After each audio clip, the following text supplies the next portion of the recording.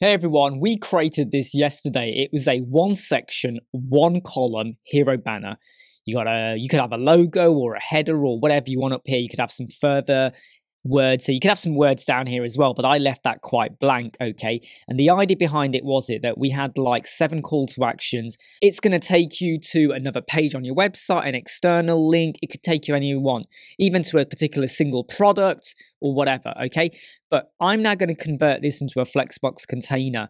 And you just got to bear in mind that when you do that, the layout is going to switch. Now, please remember that this is built using custom widths. The custom width for this is actually 50%. And then I've added a 50% left. So 50% of 50% is 25%. And then this is 25% and this is 25%. We are using the custom width, okay? Um, this one over here is actually 75% and then 33% from the left. So a third of 75 is 25 because I want to make sure that if you add any other items, they don't suddenly drop into here this is a 50, uh, 25%, and this is a 50%.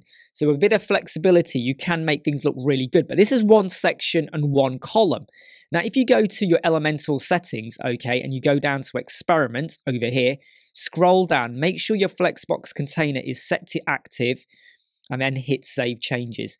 So the first thing we're going to do is we are going to click convert to container. And as soon as you do that, it's made a copy. Now, there's a few things I want to point out. Can you see the layout has gone into a column structure? Because it was kind of built with columns anyway.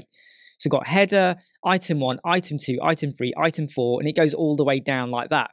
That is not the layout we want. But before we do, or before we correct that, I do want to point out something that will catch people out. If you go to Navigator, we have the container, but we have a container within a container, and then we have all of the items. Now, this is not what I want. Okay, let me just move this over here. This is not what I want at all. I actually want um, all of these items to sit in the parent container. I have no need for a child container at all. So I want to move all of these items out one by one.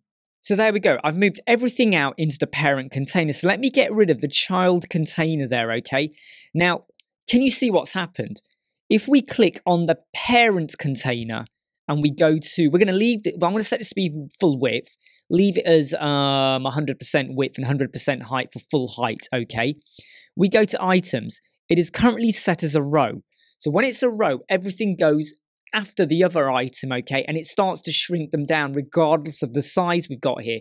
Remember, these items, like look at this one here, this has got a 50%, 25% width, but no way is that 25%.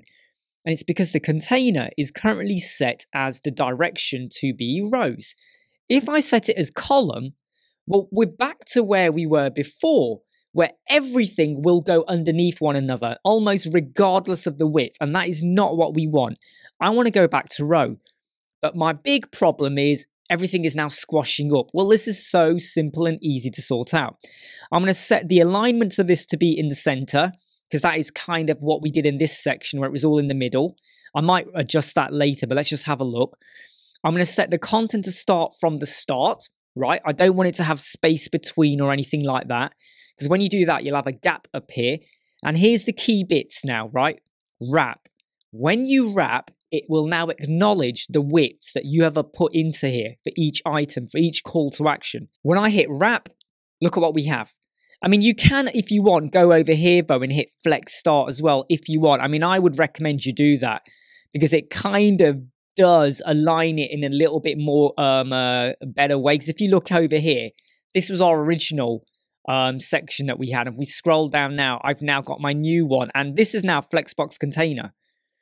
The, the logic behind it really is the same as what we were doing before, where if you go to advanced, you have custom and I set the width. But the key bit here was about the power of the wrap functionality. You take that off, and that's your row. You add it on, and away we go. I mean, this is really simple, and I wanted to just show this to you because if you ever do make that conversion with a really flexible layout, make sure you understand the wrap functionality. Remember, this is one container with two headers. We got one here and one there. We got a background image over there, okay?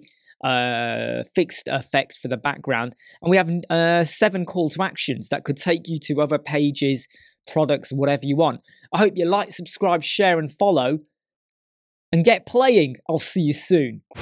Never break, always fight, never quit, do it right, play the game, win it life, have no shame, there's no time, feel the pain, live the grind, I could change, in my mind, pick a lane, commit and climb, the only way to win it life, I never miss that fact, taking big swings, bitch, hand me the bat, put me in the ring, you'll go out in a bag,